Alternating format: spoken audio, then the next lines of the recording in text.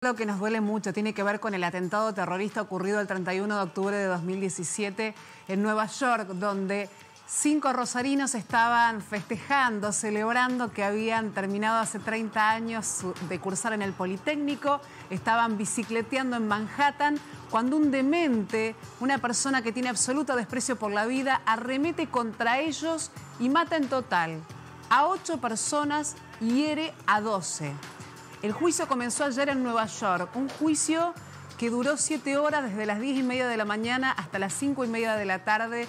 Tiene más de 200 páginas esta primera audiencia, hubo cuatro testigos, dos agentes del FBI, una persona que es quien le alquiló el camión al inmigrante uzbeco para que pudiera atropellar a toda esta gente. Claro, quien se lo alquiló no tenía idea de lo que planeaba hacer este hombre. Y también el policía que es quien lo detiene hiriéndolo con un arma de fuego.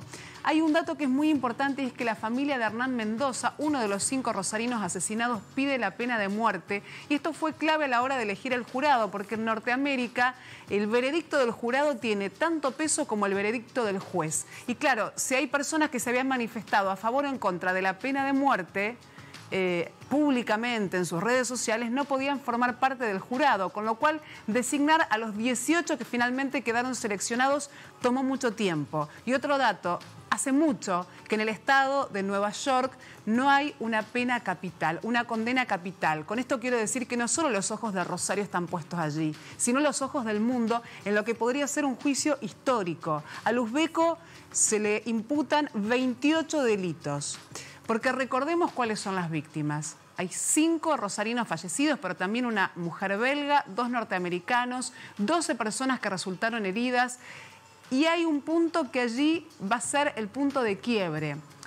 Y es si esta persona efectivamente pertenecía al ISIS o no. Ustedes recuerdan que cuando baja del camión lo que hace es decir en árabe Dios es grande, cuando lo internan en el hospital pide que en su habitación flamee la bandera del ISIS. Él reivindica al ISIS en todo momento, pero su abogado defensor dijo ayer que mi defendido sea admirador de esta célula internacional terrorista no significa que orgánicamente pertenezca. Y esto podría cambiar este, la, condena, ¿no? Si efectivamente recibe o no pena de muerte.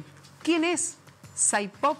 Es un hombre de 29 años, casado con una mujer de su misma nacionalidad, que tenía la visa norteamericana, que manejaba un Uber, padre de tres hijos, una persona tranquila, no había rastros de violencia en su conducta. Sin embargo, aquel 31 de octubre de 2017 fue, alquiló un camión y arremetió contra una multitud. No mató a gente porque un camión este, o mejor dicho, un transporte escolar se interpuso en su camino. Una verdadera masacre que hoy tiene su primer, o ayer tuvo su primer día de juicio, hoy es la segunda jornada, va a continuar así hasta el jueves y durante dos meses hasta que por fin podamos saber el veredicto. Repetimos, una de las familias rosarinas, la de Hernán Mendoza, es la que está pidiendo la pena máxima, pena de muerte para Saipov.